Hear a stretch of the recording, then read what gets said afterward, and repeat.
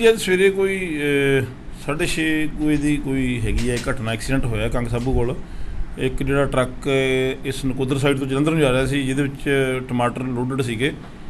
ਤੇ ਸਾਹਮਣੇ ਤੋਂ ਇੱਕ ਸਾਡੇ ਪੰਜਾਬ ਪੁਲਿਸ ਦਾ ਨੌਜਵਾਨ ਸੁਖਜੀਤ ਸਿੰਘ ਹੈਗਾ, ਪੁੱਤਰ ਰਣਜੋਤ ਸਿੰਘ, ਵਾਸੀ ਰਾਏਪੁਰ ਰਾਈਆਂ ਥਾਣਾ ਮਹਿਤਪੁਰ ਦਾ।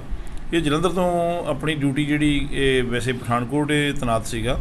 ਤੇ ਇਹ ਆਪਣੇ ਮੋਟਰਸਾਈਕਲ ਤੇ ਜਿਹੜਾ ਜਲੰਧਰ ਤੋਂ ਆਪਣੇ ਪਿੰਡ ਨੂੰ ਜਾ ਰਿਹਾ ਸੀਗਾ।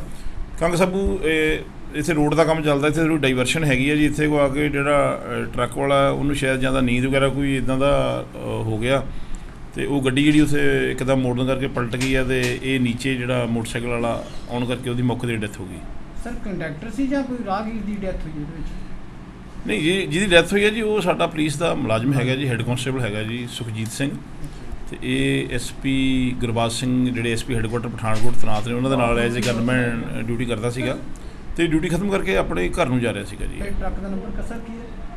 ਇਹ ਟਰੱਕ ਦਾ ਨੰਬਰ ਮੈਂ ਤੁਹਾਨੂੰ ਹਾਂਜੀ ਸਰ ਡਰਾਈਵਰ ਵੀ ਫਰਾਰ ਹੈ ਕਿ ਨਹੀਂ ਡਰਾਈਵਰ ਜਿਹੜਾ ਕਲਾਸ ਚੰਦ ਗੁੱਜਰ ਹੈ ਜੀ ਇਹ ਸਾਡੀ ਕਸਟਡੀ 'ਚ ਹੈ ਜੀ। ਇਹਦੀ ਅਸੀਂ ਅਰੈਸਟ ਪਾ ਲਈ ਆ। ਮੁਕੱਦਮਾ ਦਰਜ ਹੋ ਚੁੱਕਾ ਜੀ। ਤੇ ਗੱਡੀ ਨੰਬਰ ਟਰੱਕ ਨੰਬਰ ਕਿੰਨਾ ਹੈ ਸਰ ਇਹ ਗੱਡੀ ਦਾ ਨੰਬਰ ਹੈਗਾ ਜੀ MH12HS 4725 ਅਸ਼ਰ ਦੀ ਹੈਗੀ ਹੈ ਜੀ ਅਸ਼ਰ ਵਾਰਕਾ।